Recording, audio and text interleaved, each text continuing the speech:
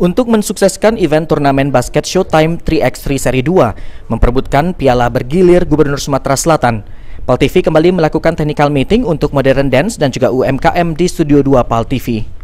Peserta yang mengikuti UMKM ada 13, sementara Modern Dance hanya 3 peserta, yakni dari tuan rumah Sekolah Palembang Harapan atau SPH, SMA 1 Tanjung Raja, dan SMA Negeri 10 Palembang.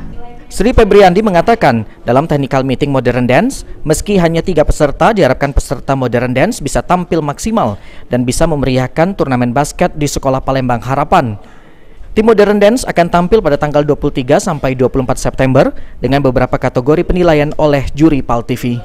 Ya, hari ini kita jadwalkan untuk technical meeting modern dance, di mana pesertanya ada tiga dari ada tiga dari SMA Sekolah Palembang Harapan, dari SMA 10 dan dari SMA Negeri 1 Tanjung Raja.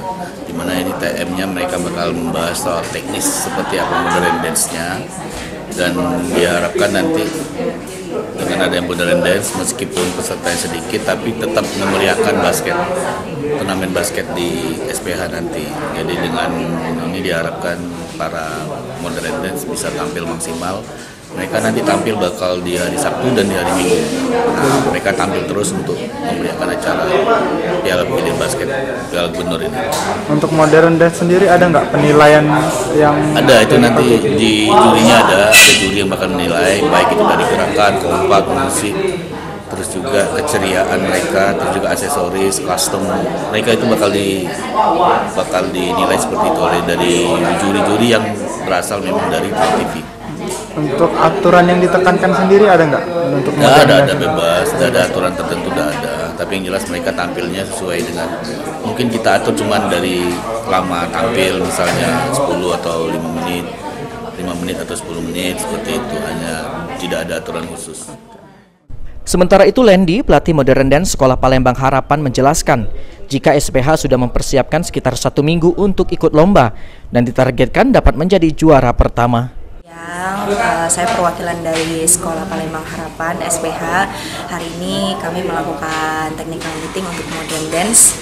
Uh, persiapan kami untuk Pal TV Modern Dance ini uh, kurang lebih udah satu minggu dengan formasi yang baru harapan besar buat kami dalam formasi baru ini kami bisa mendapatkan juara yang pasti juara satu optimis semoga bisa menang juga Selain modern dance, di waktu yang hampir berbarengan, juga dilakukan pertemuan terhadap para pelaku UMKM yang jumlahnya 13. Dan para pelaku UMKM sendiri diberikan kebebasan untuk berjualan, tetapi harus memperhatikan kebersihan dan kesehatan makanannya.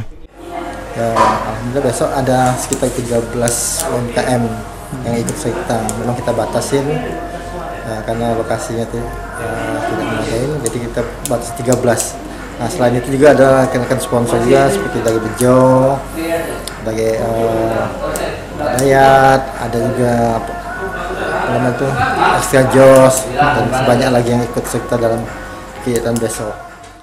Eki Saputra Pal TV.